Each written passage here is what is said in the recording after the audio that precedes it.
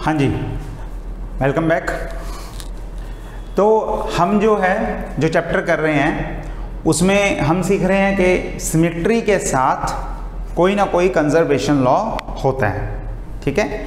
यानी कि अगर एक फ़िज़िकल क्वांटिटी में, एक फ़िज़िकल क्वांटिटी में कोई सिमिट्री होगी, किसी चीज़ में कोई सिमेट्री होगी तो उससे एसोसिएटेड कोई ना कोई फ़िज़िकल क्वांटिटी जो है, वो कंजर्व रहने वाली है।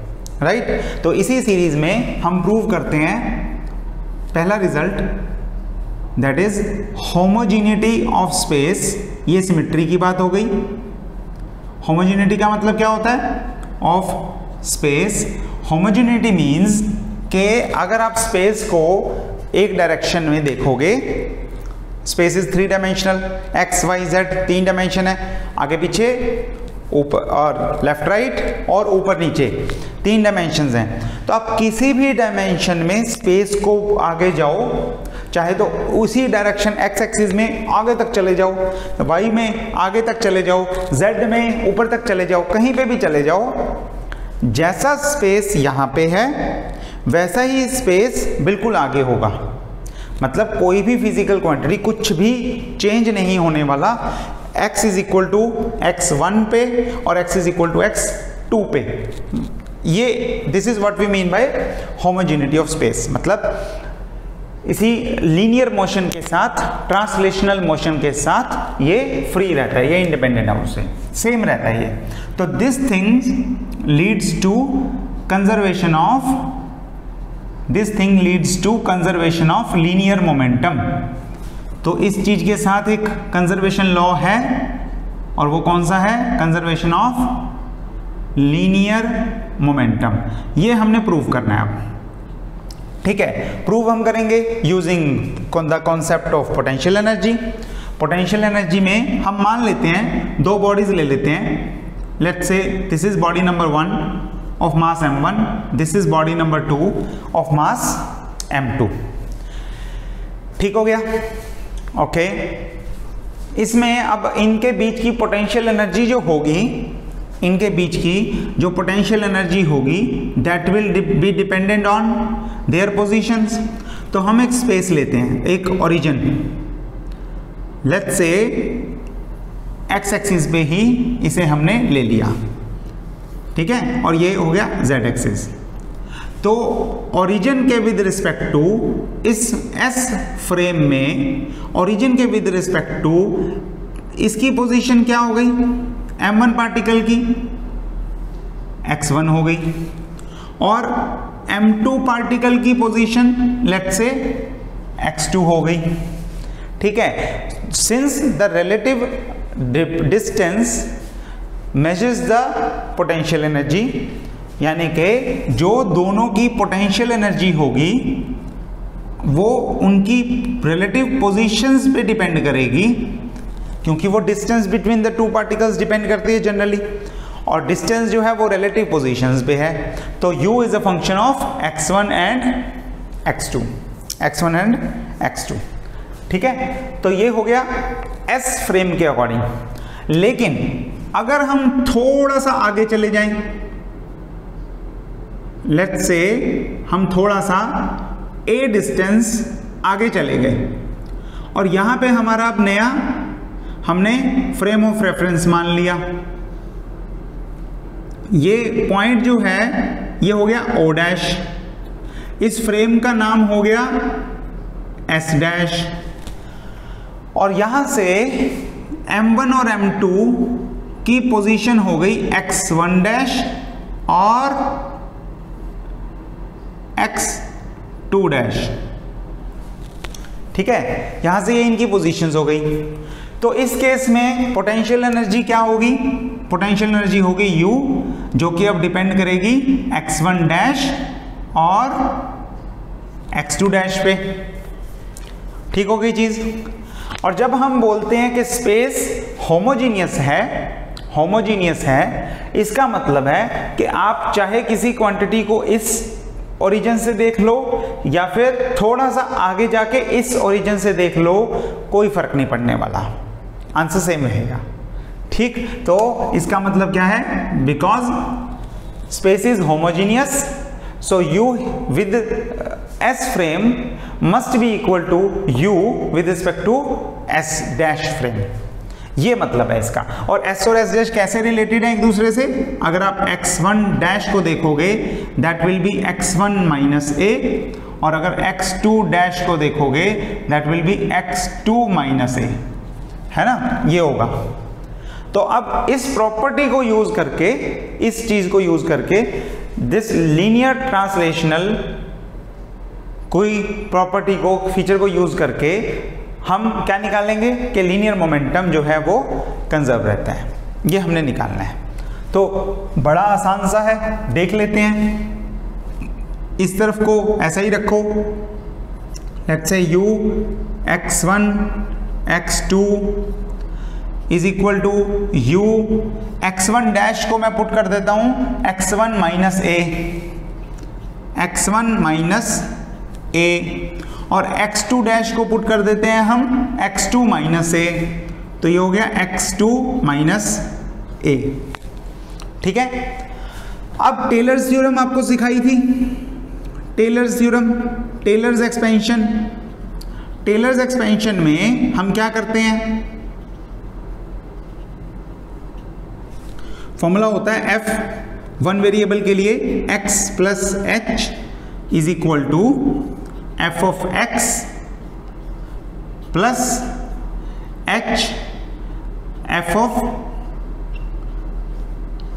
dash X F dash X यानी कि derivative of F X with respect to X derivative of F with respect to X ये लेते हैं. प्लस आगे भी चला सकते हो.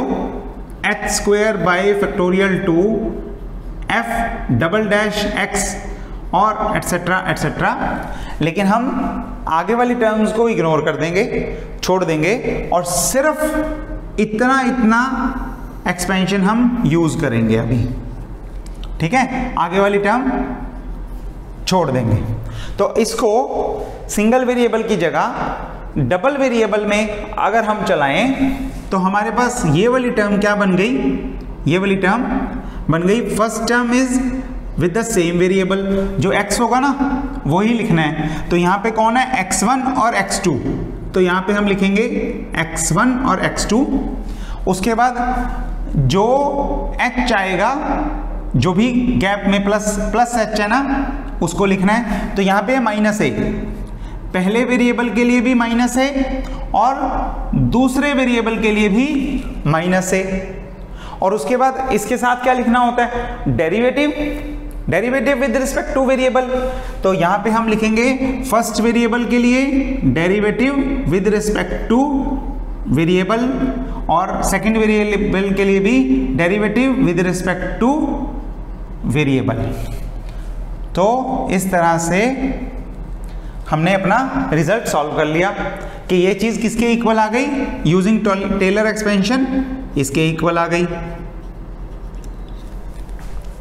ठीक हो गया? ओके अब इसे अगर उधर लेके जाएँ तो U X one minus U X one X two minus U X one X two ये दोनों कट जाएँगे और ज़ीरो किसके इक्वल आएगा?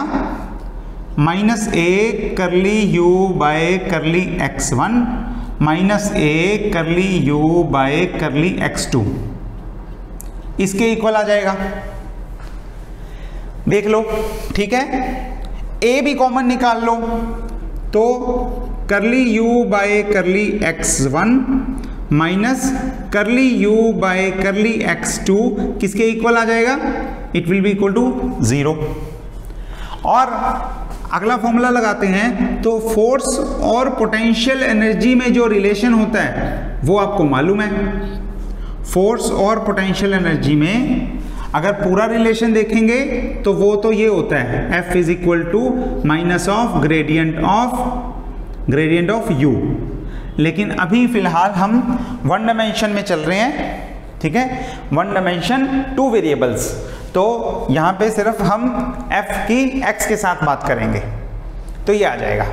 और इसमें क्या होगा? Curly U by curly X one क्या हो गया? फोर्स ऑन वन माइनस तो है ही है। और plus force of two minus, क्योंकि फोर्स में चला गया this is equal to zero one पे फोर्स टू की वजह से है और टू पे फोर्स वन की वजह से है। तो इससे हमें यह भी मिलता है that force applied by one by two on one by two minus is equal to minus of force applied by, on 2 by 1 this, these two forces are equal and opposite, equal and opposite.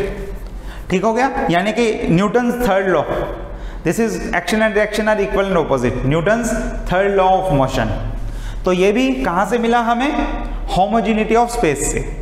Homogeneity of space से हम prove कर सकते हैं Newton third law of motion ठीक हो गया? अभी अगर इसके सेकेंड पार्ट को कंटिन्यू करेंगे, हमें फोर्स की टर्म्स में बात नहीं करनी है। हमें किसकी टर्म्स में बात करनी है? मोमेंटम कंजर्वेशन की। मोमेंटम कंजर्वेशन की। तो अब आप इस रिज़ल्ट को F one two plus F two one is equal to zero को कैसे लिख सकते हो? न्यूटन सेकेंड लॉ से। न्यूटन सेकेंड लॉ क्या बोलता है? न्यूटन सेकेंड लॉ बोलता है rate of change of linear momentum is equal to the force ठीक है? ध्यान रहे, जो आप F is equal to M A लिख देते हो, वो भी इसी से आता है। एम ए मास कांस्टेंट होगा तो मोमेंटम को P is equal to M V भरोगे M V भरोगे मास कांस्टेंट होगा तो एम बाहर आ जाएगा और D V upon D T will give you F is equal to M A तो ज़्यादा बेसिक फॉर्म कौन सी है? ये वाली है। इस फॉर्म से ये वाली फॉर्म निकलती है। ठीक है? Whenever mass is constant तो हम सीधा फॉर्म यूज़ कर रहे हैं डीपी बाई डी टी वाली। और डीपी बाई डी टी अगर यूज़ करेंगे तो यहाँ पे क्या हो जाएगा? Momentum of one by T plus momentum of second by T this is equal to zero इसमें जो है d बाई डी टी आप बाहर निकाल सकते हो क्योंकि टोटल है और P1 वन प्लस पी यानी के momentum this is equal to zero implies this is constant क्योंकि कांस्टेंट का डेरिवेटिव ज़ीरो होता है. Constant with respect to time तो ये ज़ीरो आएगा. तो implies